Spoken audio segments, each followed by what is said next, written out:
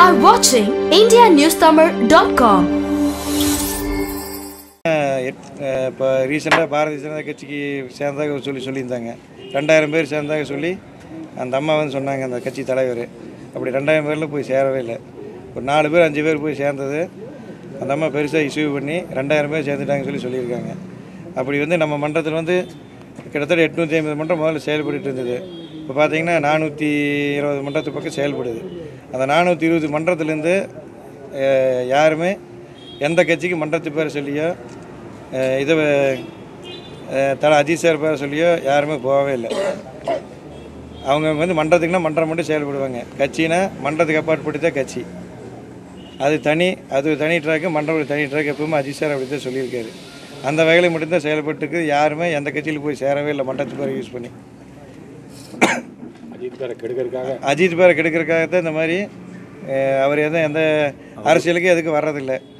அஜித் பேரை கெடுக்கிறதுக்காக சின்ன ஒரு சூழ்ச்சி நடந்திருக்குது. அதை அவர் முறியடித்து பக்காவாக வந்து அவர் ஒரு ஸ்டேட்மெண்ட்டை கொடுத்துட்டாரு.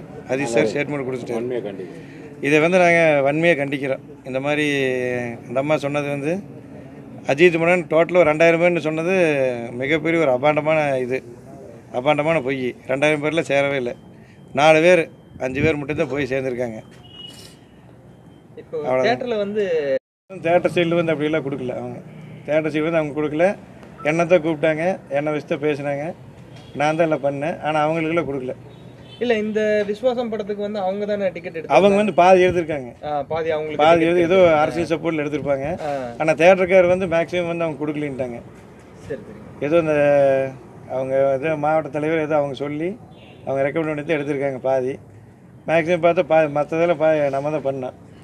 அவங்க மட்டும் அந்த அரசியல் சப்போர்ட்டில் வந்து எடுத்து அதுக்கப்புறம் இந்த மாதிரி பிரம்மை ஏற்படுத்திட்டாங்க. ரெண்டாயிரம் பேர் சேர்ந்த மாதிரி அந்த விசுவாச படத்தை வந்து ரவிஸ் ஓட்டி அதிலிருந்து ஒரு மோட்டிவ் பயன்படுத்தி ஒரு ரெண்டாயிரம் பேர் சேர்ந்ததாக ஒரு அறிக்கை விட்டு நாலு பேர் போய் சேர்ந்தங்களுக்கு ரெண்டாயிரம் பேர் ஒரு பெருசாக பண்ணி அவங்க வந்து இந்த மாதிரி பண்ணியிருக்காங்க. ஹரி அஜித் கிட்ட இதுக்கப்புறம் நீங்க பேசுனீங்களா? அவர் எதனா சொன்னாருங்களா இல்லை அவருக்கு அதுக்கப்புறம் நான் பேசல.